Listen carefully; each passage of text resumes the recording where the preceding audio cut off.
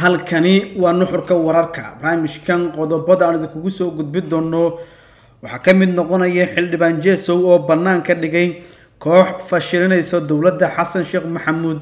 Madhaba in xubnihii daljir ay dhulka la jarayaan dam jadiid buuq iyo fowdo ka dhex taagan baarlamaanka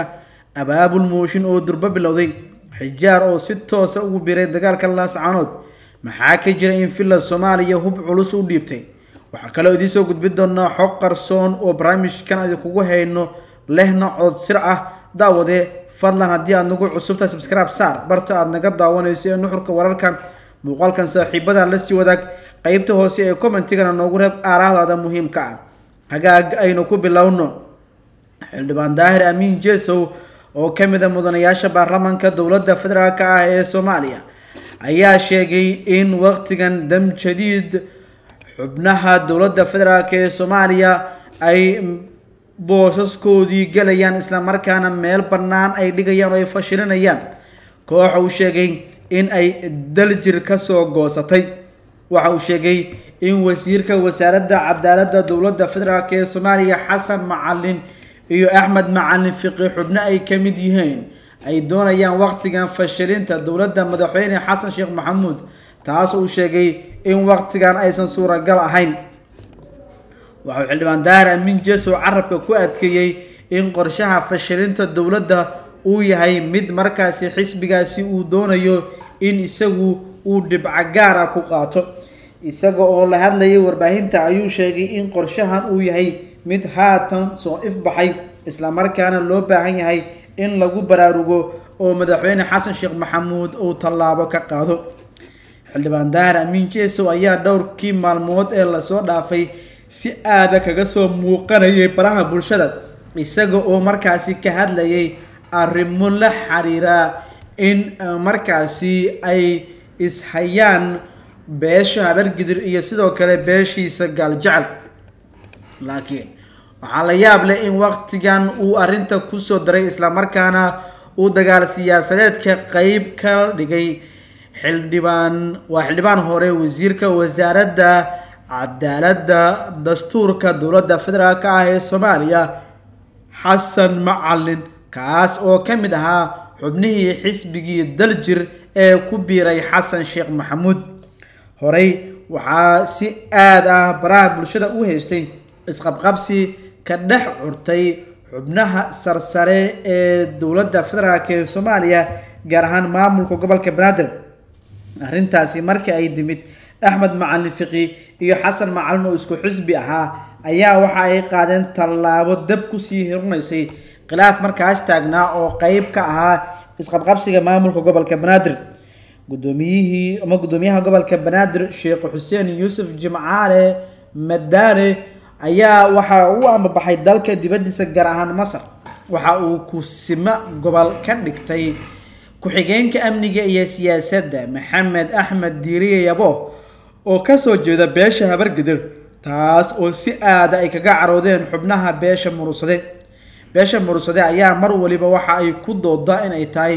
ku-xigeenka koowaad ee maamulka gobolka banaadir waxayna si aada carabka ugu adkeysay in marnaba aysan aqbalaynin tallaabooyinka ay qaaday dowladda madaxweyne xasan sheekh maxamuud taas oo la xiriirtay in markaasi ay awooddii gobolka ee beesha murusade ay hoos u dhigtay. Xasanadaas kolkii ay taagneed waxaa xasan macalin uu noqdo shaqsi ka aamusay halka fiqi uu markaasi ah wasiirka arrimaha gudaha federaalka iyo dib heshiisiinta uu si cad u sheegay in kusimaha guddoomiyaha gobolka uu yahay maxamed axmed diiriye yabo. Xilligaas waxaa barbar taagnaa oo joogay xasan macalin oo ah wasiirka cadaaladda dastuurka iyo garsoorka dowladda federaalk ee soomaaliya islamarkaana ka soo jeeda beesha murusade oo markaasi doodoodu ay si aada u taagneed. Waxaana waqtigaasi dhacayay kulamo deg deg oo arrimaha looga arrinsanayo islamarkaana intooda badan lagu difaacayay ciise guure oo ah guddoomiye ku-xigeenka maamulka iyo maaliyadda ee gobolka oo markaasi noqon lahaa ku-xigeenka koowaad ee gobolka. Sidoo kale ay ahayd in uu sii hayo xilka kolka uu maqan yahay guddoomiyaha gobolka banaadir ahna duqa magaalada muqdisho sheekh xuseen yuusuf jimcaale madaale. Iyada oo arrinkaasi uu jiray ayaa haatan waxaa soo ifbaxaya dhacdo kale. Weriye cabdalla muumin oo dhowr jeer la xiray islamarkaana ka soo jeeda beesha gaali jecel ayaa maalmo ka hor ciidamo ka tirsan kuwa booliska dowladda federaalk ee soomaaliya waxa ay ka soo kaxaysteen hoteel uu ku sugnaa oo ku yaalla magaalada muqdisho. Ciidankan oo la sheegay inuu amar ku bixiyey ama uu amray oo halkaa u diray taliyaha booliska qeybta guud ee gobolka banaadir macalin mahdi ayaa cabdalla muumin oo ah suxufi islamarkaana u doodo saxufiyiinta masuulna ka ah urur u dhaqdhaqaaqa arrimaha saxafiyiinta waxay ka soo kaxeeyeen hotel jaziira intaa kadib waxa ay geeyeen xabsiga dhexe halkaas uu ku xiran yahay cabdalla muumin hore waxaa loo tabinayay inay ishayeen islamarkaana ay si aada isugu dheganaayeen xubno ay ka mid yihiin wasiir ku-xigeenka wasaaradda warfaafinta dowladda federaalk ee soomaaliya cabdiraxmaan sheekh yuusuf al cadaala iyo abshir bukhaari oo ah wasiir dowlaha madaxtooyada federaalk ah ee soomaaliya arrintan ayaana waxay noqotay mid markaasi siyaabo kala duwan loo qaada dhigo iyada oo la sheegay in xubno isku beel ahi ay beegsanayaan cabdalla muumin arrintaas markii ay dhacday kadib waxaa muqdisho ka dhacay shirar dhowr ah oo ay yeesheen beesha gaali jecel iyaga oo si cad u sheegay in xarigga cabdalla muumin uu yahay mid ihaana ku ah beesha gaali jecel haddii aysan tallaabo qaadin xildhibaan dahar amiin jesow oo kolkaas hadlaya ayaa sheegay in marnaba aysan aqbalaynin in cabdalla muumin uu si baadil ah ugu xiraado wiilal ilmo adeer ah sida uu hadalka u dhigay. Waxa uu sheegay in beesha gaal jecel loola dhaqmay sidii dad looma ooyaan balse ay doonayaan in ay muujiyaan in aysan ahayn looma ooyaan oo ay qaadi karaan tallaabo walba oo qof bili-aadana ka suurto gasho waxa uu carabka ku adkeeyey in looga baahan yahay tallaabo deg deg ah inay qaadaan oo markaasi ay sameeyaan ficil ah in ay aar gutaan. Intaa kadib magaalada beledweyne waxaa laga afduubtay oo ilaa iyo haatan gacanta beesha gaal jecel ku jiro. Mid ka mid a ganacsatada sida weyn looga yaqaano magaalada beledweyne islamarkaana ka soo jeeda beesha saleebaan oo markaasi ay ka soo jeedaan alcadaala abshir bukhaari iyo macalin mahdi oo xabsiga dhexe ee xamar geeyey. Cabdalla muumin arrintan waxaa la sheegay in ay dabka ku sii huriyeen. Xubno uu ka mid yahay xildhibaan dahar amiin jeso uu amray beeshiisa in ay qaado tallaabo aargudasho ah islamarkaana ay beegsadaan beesha habargadir. Waxaa horey u soo ifbaxayay xogo kale oo sheegayay in dagaal laga dhex urinayo ama laga dhex abuurayo xubnaha ama beelaha hawiye dhexdooda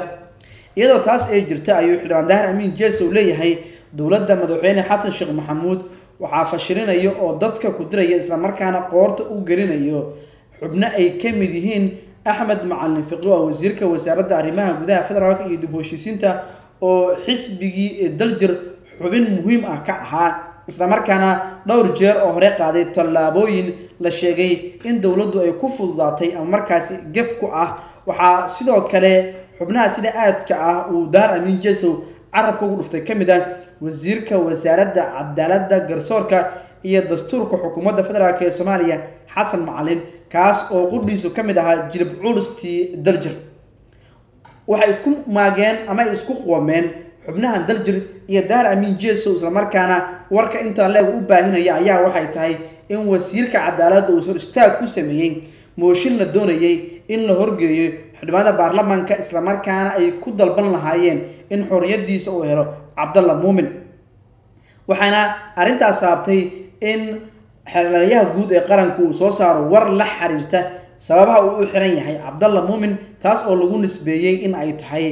xukun ay ku riday maxkamadda gobolka banaadir taas oo amartay in laba bil oo xabsi ah loo diro cabdalla muumin maadaama lagu helay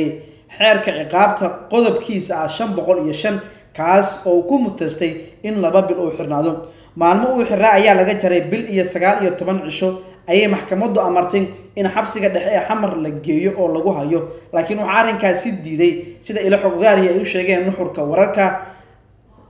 taliyaha xabsiga dhexe ee xamar kaas oo sheegay in uuna haynin sifo uu ku hayn karo ama xabsiga uu ku gelin karo cabdalla muumin daawadee